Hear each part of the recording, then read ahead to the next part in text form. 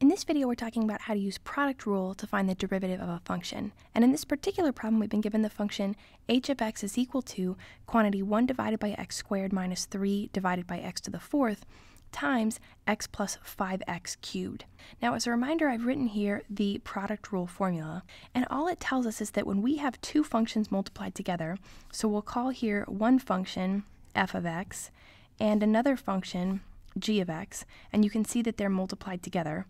So when we want to take the derivative of the product of these two functions, remember d over dx means take the derivative of whatever follows me. So the derivative of f of x times g of x. When we want to take the derivative of the product of these two functions, that's called product rule, and we use this value over here on the right-hand side to find the derivative. Now notice that f of x over here translates directly to f of x over here on the right-hand side, and you'll also find g of x over here on the right-hand side.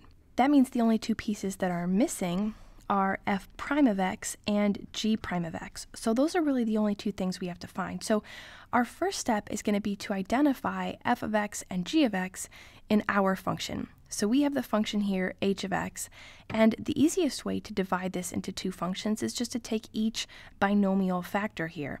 So what we can say is that this first factor we'll call f of x, so we'll say that this is going to be our f of x. And we're going to say that the second factor is going to be g of x because both of these are just functions of x and they're multiplied together. So we have the product of two functions and we want to take the derivative of h of x. So h of x is the product of two functions. We want to take the derivative of h of x.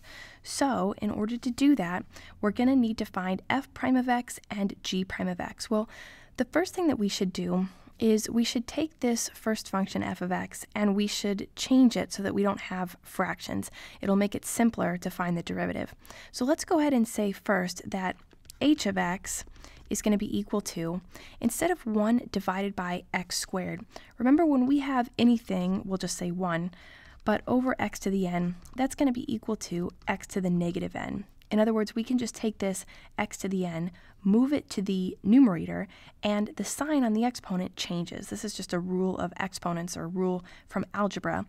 So the positive exponent will become a negative exponent. And if we have the negative exponent in the numerator, we move it back to the denominator, it'll become positive. So when we change its location here from the numerator to the denominator or vice versa, we just flip the sign on the exponent, which means this x squared, if we move it to the numerator, it's going to become x to the negative 2. So we have the 1 times x to the negative 2, which is just x to the negative 2. And then same thing here, we have x to the fourth in the denominator. When we move it to the numerator, we'll keep the negative 3, so minus 3, and the x to the fourth will become x to the negative 4. Then we're going to keep the second function exactly as is, so x plus 5x cubed. So now our first factor is still f of x, our second factor is still g of x. So using our product rule formula, we want to say that the derivative of h of x, the derivative of this function, the notation of course will be h prime of x, which means the derivative of h of x. So now looking at the derivative, trying to take the derivative here of the right hand side, we're going to need to use our product rule formula. So what it tells us is that the first piece here is f prime of x. So coming back here, we say f of x is our first binomial factor here, x to the negative 2 minus 3x to the negative 4. That's f of x. We need to find the derivative of that. Well, to take the derivative of this function, we just need to use power rule. So the derivative of x to the negative 2 is going to be negative 2 x to the negative 3. Because remember, power rule tells us that we take the exponent and we bring it down in front here. So the negative 2 comes down in front, negative 2. We leave the x, and then we subtract 1 from the exponent to get the new exponent. So we take negative 2 minus 1 gives us a negative 3. So our new exponent is negative 3. And we'll just go term by term like that. So here we're going to have our minus 3. We bring the exponent down in front, so that's a negative 4. We're going to multiply that by the 3. We leave the x, and then we subtract 1 from the exponent. So negative 4 minus 1 is a negative 5. So this then is f prime of x, and we've taken care of that part we need to multiply that whole thing by g of x. And remember, g of x is x plus 5x cubed. So we're just going to multiply this whole thing by x plus 5x cubed, and that takes care of g of x. Then according to our formula here, we're going to add, so we're going to add to that The first thing here is f of x. So we come back and we look at f of x. We're going to use this part here where we got rid of our fraction. So we're going to say that f of x is x to the negative 2 minus 3x to the negative 4. And then that takes care of f of x. Now we have g prime of x. So we go back here, we say that this is g of x, x plus 5x cubed is g of x. We need to take its derivative. So what's the derivative of x plus 5x cubed? Well, we want to take that one term at a time. The derivative of x is 1, so we're going to say 1 plus the derivative of 5x cubed, well, we bring that 3 down in front and we get 5 times 3. We keep the x and then we subtract 1 from the exponent. So 3 minus 1 is 2. And now we have everything we need. We put in g prime of x. So we've completed our product rule formula.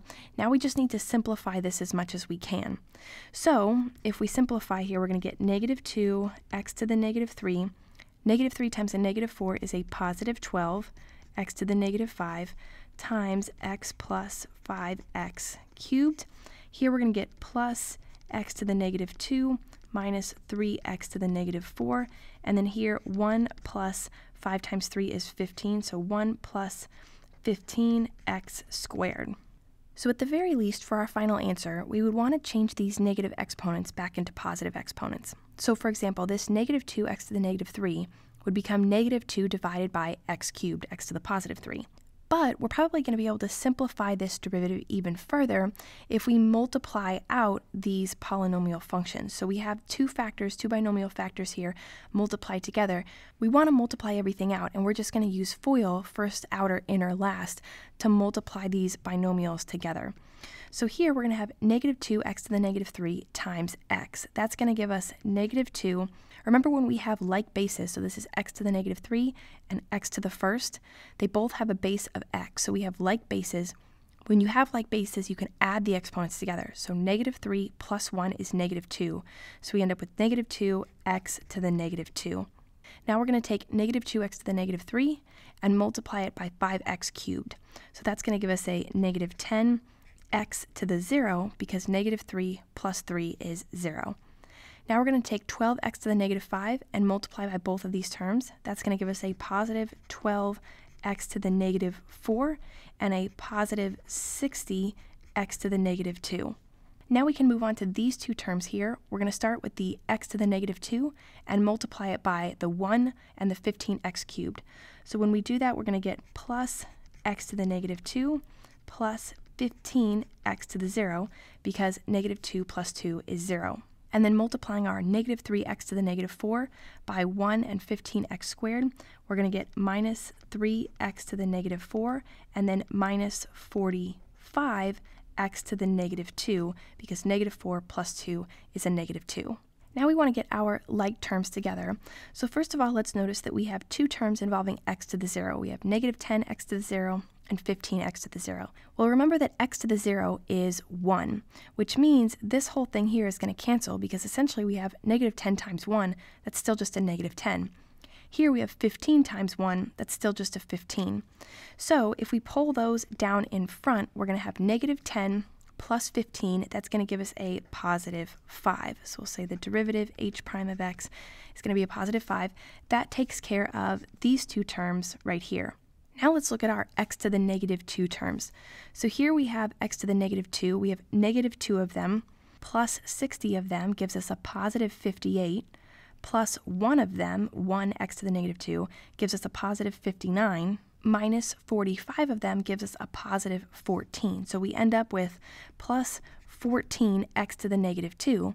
But keep in mind that since we have 14x to the negative 2, we can call that 14 over x to the positive 2, or 14 over x squared.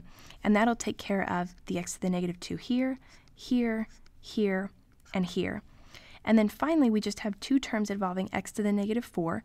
So we have positive 12 of them minus 3 of them gives us a positive 9. So we end up with plus 9. But then we have plus 9x to the negative 4. So we can take that x to the negative 4 move it to the denominator, and call it x to the positive 4 once it's in the denominator.